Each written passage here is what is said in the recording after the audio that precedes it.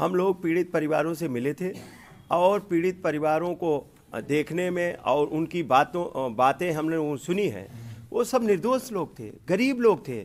एक truck driver था, दो दिन पहले बम्बई से आया था। उसका बर्थडे भी उसी दिन था।